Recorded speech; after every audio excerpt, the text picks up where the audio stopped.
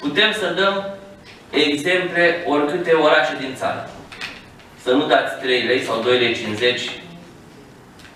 prețul biletului de la orașele din Transilvania.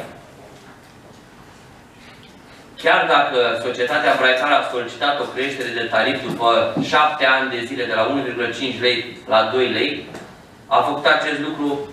pentru că are nevoie să susțină costurile cu amortizarea mijloacelor de transport existente a celor care urmează să vină,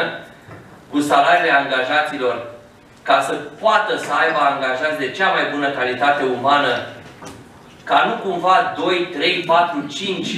din cei peste 200 de șoferi să strice imaginea societății. Iar uh, eu am să vă spun că uh, Consiliul de Administrație a societății cred că a finalizat deja procedura pentru a avea societatea de recrutare a noului director de la Societatea Braicar. Acesta nu trebuie să fie unul, din punctul meu de vedere politic, de la niciun partid, nu trebuie să fie unul care să aibă introduse în documentație clauze subliniate sau uh, inserate pe ascuns în acest Consiliu Local, ci trebuie să fie unul profesionist. Pentru a avea acel afișaj în stații, nu societatea va face eforturile financiare, așa cum nu le-a făcut nici când a cumpărat autobuze noi,